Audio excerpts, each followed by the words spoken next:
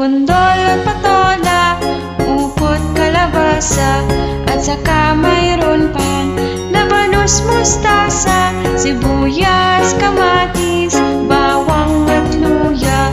Sa paligid-ligid